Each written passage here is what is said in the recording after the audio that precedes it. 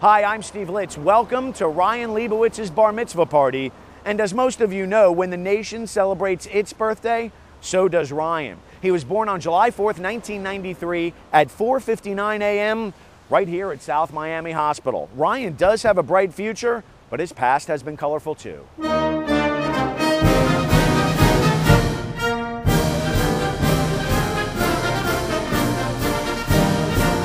This is Ryan on the day before he was born. July 4th was a banner day for the Leibowitz family. At age two, Ryan spent several months in a body cast after jumping off of the couch and breaking his femur bone. He spent lots of time in his red wagon and his beanbag chair, but he never let it get his spirits down. Ryan loves to travel. He's already been to 14 states and five different countries. He's organized, packs his own bags, and is always the first one in the family ready to leave. His travel highlights include Israel, Italy, two times, Alaska, Whistler Mountain in Canada, and of course, New York City. Ryan has always been an honor student, and his academic record speaks for itself. And nobody knows that better than Ada Marrero. She was Ryan's elementary school principal. I've known Ryan since he was a little baby in a stroller. He was that sweet little boy and that sweet young man, but he was also very independent and extremely bright. In addition to doing well in school, Ryan has always found time to have fun with family and friends.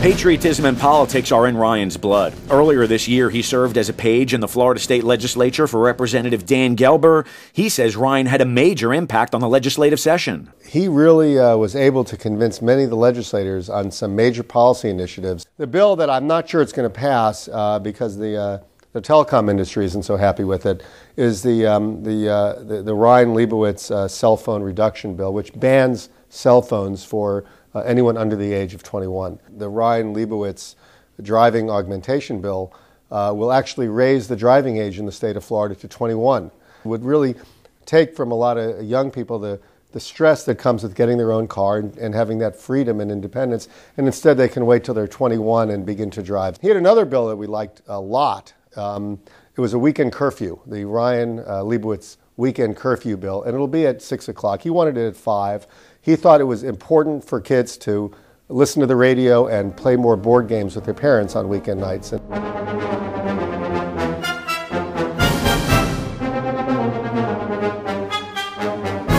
In addition to politics, Ryan's interests include music, art, skiing, water sports, and in his spare time, he invents things. And Ryan also keeps a keen eye on his finances, and he thinks big, and that's caught the attention of the top brass at Gibraltar Private Bank and Trust. Bank Chairman Stephen Hayworth and VP Henny Hanine told us for a young man, Ryan sure knows a lot about investing. He's much more challenging than Matt is, to be honest with you. But he's teaching me a lot along the way, and, and I'm hoping I'm doing the same for, for, for him as well. Because with most of our clients, we're encouraging their parents to get their kids involved. In this instance, we have you know a, a highly uh, educated, terrific young man that is incredibly interested in the family's finances. Ryan's story would not be complete without hearing from somebody who actually lives with him. While he and brother Brandon may fight like cats and dogs, deep down, we think they really love each other. He's a very special kid. Uh, I love him a lot. And even though sometimes I don't really show it.